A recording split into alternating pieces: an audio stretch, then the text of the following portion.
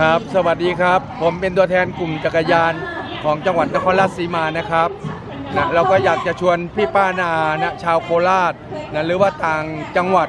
เชิญนะร่วมสร้างหลวงพ่อคูณในวันที่ 9 เดือน 9 คือเดือนกันยาจะถึงนี้นะ อยากให้พี่ป้านานะคนไทยหรือว่านับถือหลวงพ่อคูณนะทั่วประเทศนะด้วยบารมีของหลวงพ่ออยากให้ท่าน ร่วมสร้างหลวงพ่อคูณที่วัดบ้านไร่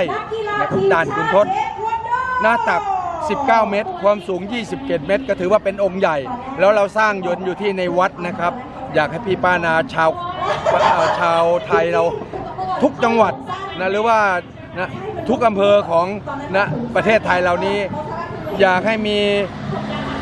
ร่วมอยากให้ท่านร่วมเป็นเจ้าภาพสร้างหลวงพ่อคูณด้วยกัน นะให้เป็นเจ้าภาพทุกคนทุกท่านนะเราถือว่าเราได้ร่วมสร้างหลวงพ่อคูณองค์ใหญ่ เป็นประวัติศาสตร์ของจังหวัดนครราชสีมา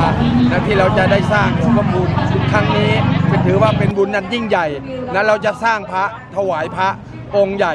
ให้กับชาวโคราช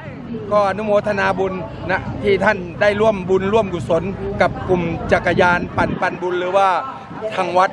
ก็อนุโมทนาบุญนะครับ ผมขอบพระคุณทุกท่านทุกคนครับ ค่ะก็อยากจะเชิญชวนพ่อแม่พี่น้องประชาชนนะคะ มาร่วมกุศลนะคะ สร้างประวัติศาสตร์ สร้างความยิ่งใหญ่นะคะ อนุรักษ์ความเป็นไทยของเรานะคะ ในการสร้าง